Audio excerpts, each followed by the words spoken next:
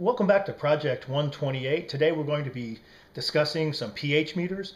Uh, we're going to be showing you through our PowerPoint presentation some of the meters that we've used in the past. Um, I have a background with environmental health and safety as a hazardous materials um, specialist and have dealt with um, hazardous materials and hazardous waste, as well as working for over 22 years with Southern California's uh, largest water agency, uh, where I had to deal with wastewater as well as water quality issues. And so used a lot of different pH meters there as well as lab meters. We're just going to be showing some of the field meters that were used. And again, just use the PowerPoint presentation to show you some of the pictures.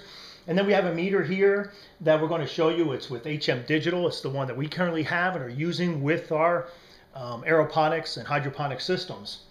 And so we're going to go ahead and discuss those now. The first thing we want to show you is this is actually uh, from Extech and this is one of their higher end meters. This meter has a probe that you can actually, it uh, can be disconnected and it can be dropped down. Uh, I'll show you a picture of how that type of thing is used here in a second. But this is, uh, again, like I said, a real high-end uh, pH and temperature meter. This retails for about $300. So for our needs with the hydroponics and um, aeroponics, aquaponics systems, it's a little bit uh, much for that. Um, this is a picture of um, the, the Hach system, and that's H-A-C-H. And this is about a $1,000 system here. Uh, one of the things with these systems, uh, I used this a lot when I was in the hazard material field. Really liked the Pro because you could actually extend it. It had a cable on it, and you could extend it down 10 to 12 feet. And so you could drop it into a tank or into a voided area, and you could test the pH of liquids that were there. If you see on the keyboard here, you have pH, TDS, connectivity, salinity. Um, it's multifunction. Um, unfortunately, the one thing I didn't like about the, the meter was if you didn't pay for all the functions, the keys were still there, but the functions weren't available to you.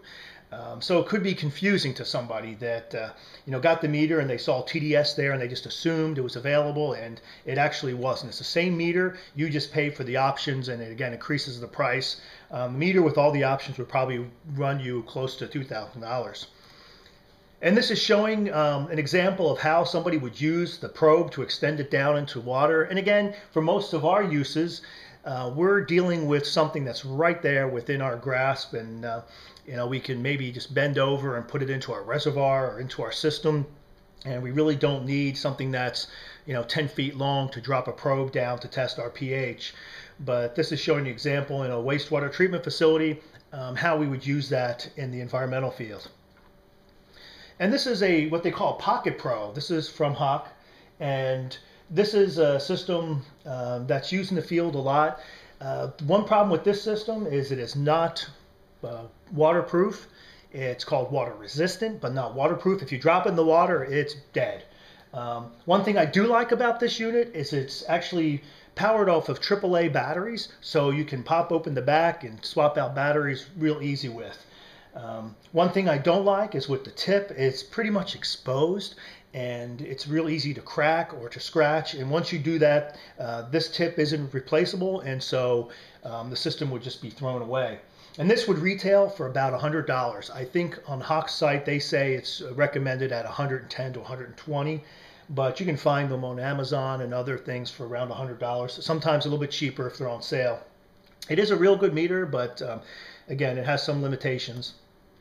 This is the Extech uh, model. This is going to be similar to the model we're going to be showing you from HM Digital. One thing I found with HM Digital is they are actually an OEM. It's made out of Korea, and they actually, um, I don't know for sure, but it, looks exactly like this meter and uh, they're they're actually making HM Digital makes a lot of these meters for other companies and then they just slap their label on it and uh, but it's actually the same meter um, inside and this is called the Extech PH100, and this retails for about $105. There is also the Extech 400, um, and that one's um, the newer model, and that retails same area, about 100 to $110.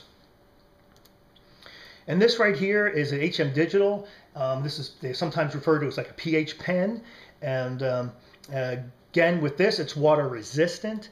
Um, so if you're, you have moisture on your hands or moisture in the area, it's fine, but it is not waterproof. So if you drop it in, and I've seen that happen a lot um, in the field, people drop a meter into uh, the water into the reservoir they're using, and this thing at that point is no longer good. It would uh, fry it in the water. So now we're going to go ahead and move on, and we're going to show you the HM Digital. It's the pH 200 meter, and it's currently the meter that we're using. And we chose this again. This is actually waterproof, so if you drop it in the water, it actually floats. Uh, we like the lanyard that it comes with, and you can actually remove the lanyard and keep that around your neck, put it back on and off. Um, and again, it's real easy to use, real easy to calibrate.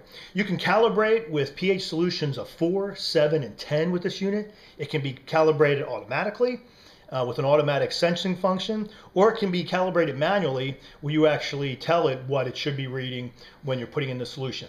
Uh, when you're going to calibrate a unit like this, you usually calibrate with uh, whatever it is that the value that you're going to be working with. If you're working with an acid, you would uh, go ahead and calibrate down at the four range. If you're working, in our case, with something that's close to neutral, um, we're uh, pHing and we want our water in our aeroponic systems running at about a six. So we um, we calibrate with a seven. And if you're doing something higher, um, something more on the basic side, you would calibrate with the 10 and we're going to show you what we have is um, I bought the standard reference solution. With these units usually comes a small pack just um, of a small solution and that you would mix it up. It's a little powder. Uh, the one thing I don't like about those is if the pH of your water is way off from seven, like if I were to get it directly from my well, it's up above seven, it's about seven and a half. Um, you could actually not really know how accurate that is. With this solution, this solution is set up and it's you know made for the calibration. And this is actually from General Hydroponics. And um, again, it's a pH 7 solution. And that's what we're going to be calibrating with today. We'll show you how we're going to do this. And with this meter, again, there's just a on-off button, a temperature uh, calibrate button, and a hold function. And again, this is uh, pH and temperature readings. We get both of those. And what I like about temperature reading is pH actually uh, on a meter like this, um, temperature can affect the pH. And so by having the temperature as part of this probe, it would go ahead and um, it um, your pH value according to your temperature. Okay, I already go, went ahead and poured this in. This is just like a little uh, medicine cup and just poured a little bit in there. What we want to do is we go ahead and we hold the calibrate button until it shows up on the screen and it'll start flashing cal and we have that in our solution. We just stick it in our solution and it's going to sit there and it's going to flash for probably about five to 10 seconds um, with the CAL and then it's reading 7.00 right now and then it starts flashing end. And when it starts flashing end, there you go. We went ahead and calibrated it to our 7.00. And just going to show you here, this is just some, some water from um, tap here. This water is actually going through a softener and filtration system. And so we're just going to go ahead and we're going to put it in here and we're just going to check the pH of this. Sometimes with the pH meter too, what you want to do when you put it in, you want to just stir it around lightly. You don't want to tap it or bang it because you can mess up the probes on the end. And there we go. This water should be somewhere in this uh, six and a quarter to six and a half range. And right now we're reading about 6.36. So that's about what we normally get on this. You know what I liked about this meter? It's waterproof. It floats. Um, there is a little bit more of a protection around your sensors. And so, you know, if you were to stick it in and bang it, it's actually protected a bit. Um, if you drop it down, when you store this, you want to actually have a little bit of liquid in the bottom because if these um, your sensor cell dries out, it'll actually start getting like a crystallization on it. So you either want to use like a DI, deionized water, which is at a pH of 7. Um, you want to use that. Or what I do is, is after I'm done calibrating, I take a little bit of the solution and pour it in the bottom and just keep the, there's a little pad in there. We keep that moist and that'll keep your the um, probe and the sensors good and clean and moist for you. If you need to ever clean it, again, just um, best thing to do is, is use the uh, 7.0 water deionized, deion, can't even say it, DI, deionized water, or you know, it's clean water, and just rinse it off. The other thing I like about this unit is you can actually just unscrew this and you can buy a replacement sensor head for it. It does have batteries you take off the top, but they're basically um, like the little batteries that you have in your watch or something like that. They're the small um, batteries. but there's three of those and they are replaceable. It's just not as readily uh, replaceable as like AAA or AA batteries. But um, again, uh, if you have any questions, go ahead and feel free to shoot us some comments. Use our email. We'll go ahead and we'll stick the different things we showed you here. We'll put uh, links for Amazon and um, other places where we know they're for sale. If you want to go check them out, take a look for yourself. And again, we uh, appreciate you tuning back in. And next time, we're going to be showing you the HM Digital's EC meter that we have, uh, TDS meter. And we'll go ahead and we'll take you through that. And we'll take you through the calibration of that also. So take care and happy gardening.